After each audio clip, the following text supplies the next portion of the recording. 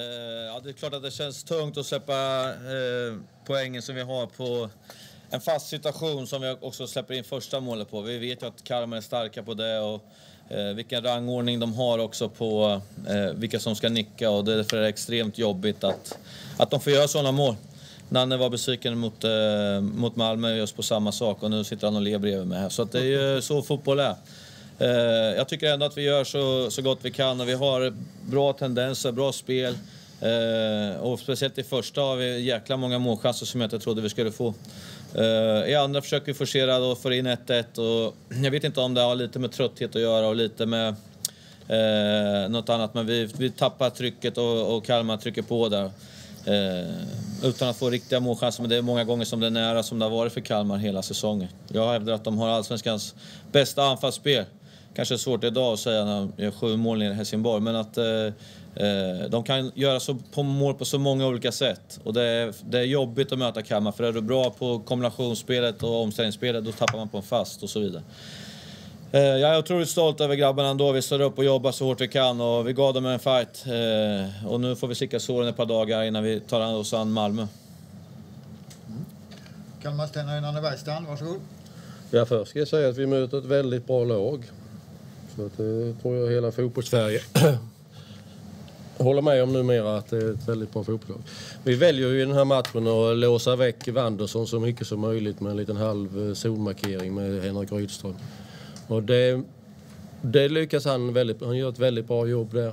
Men samtidigt så är det möjligt att det kostar lite i vårt kombinationsspel på mittfältet eftersom eh, vi hade väldigt problem med att spela passningsspel på mittfältet.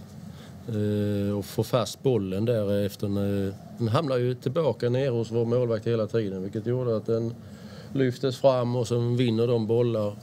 Så att det, det blir alls inte den matchbilden. Det som är positivt är att vi får bort Wanderson från matchen men vårt, vi ser tunga ut idag.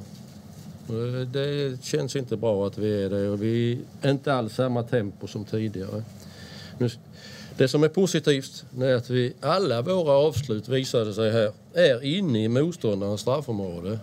Det hade vi aldrig mäktat med inom första omgången i Allsvenskan. Då var vi för fan aldrig inne i det motståndarens straffområde. Vi var runt det bara. Nu är vi inne där, så det börjar närma sig. Snart är vi vid målet också. Det kommer dit förr eller senare. Men nu är match på måndag. Och Gais kommer ge Malmö ett helvete, det är jag övertygad om. Får vi se om vi kan ge Norrköping ett helvete. Ja, okej. Okay. Finns det frågor till någon av tränarna? Det är Stefan Larsson, var han sjuk idag? Han var sjuk, ja. ja. Finns det ytterligare frågor? Eh, distansskott, är det någonting ni eh, av taktiska skäl eller något annat skäl helt är bort ifrån? Nej, jag spelar som kan skjuta men eh, när du inte har en bra dagsform så hinner du inte komma rätt i, i momenten heller. Så det finns alltid någon motståndare som hinner blockera eller plocka bort bollen. Så det hänger ihop med de bitarna. Vi är för, för eh, tröga idag. Okay. Paulus Ara-jury tvåmålsskytt. Det tycker jag är hedrande eftersom petats och ändå visar den här moralen nu. Tycker jag är bäst på plan idag i tvåmålsskytt. Hyllar han lite extra eller? Han har aldrig blivit petad. Han var skadad och sen eh, var det någon annan som tog hans plats. Ja. Så jag har aldrig petat honom. Men... sen eh, att han får göra två mål är bra. Eller framförallt så, eh, så är det ett tag som gjorde mål på fasta situationer. Och det, är, det är positivt. Så.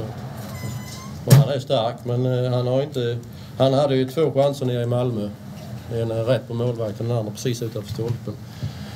Så att... Eh, förr eller senare visste vi att han gör mål. Mm. Och även Tobias Karlsson är inblandad i bägge målen också. Så att det är ju mittbackarna som gör målen i den här matchen. Och vissa matcher måste man acceptera att det är så. För det är hur vi än eh, vrider och vänder på fotbollens värld så kommer det alltid vara så att fasta situationer är en viktig del. Idag står det för en tredjedel av alla mål. Tror tusan att det är en viktig faktor. Du får de här enkla målen som är så svåra att få annars. Ska man spela sig till alla mål då blir det fan inte många mål i den moderna fotbollen. Ytterligare frågor? Nej? Okej, då tackar vi tränarna för detta. Tack. Kör på.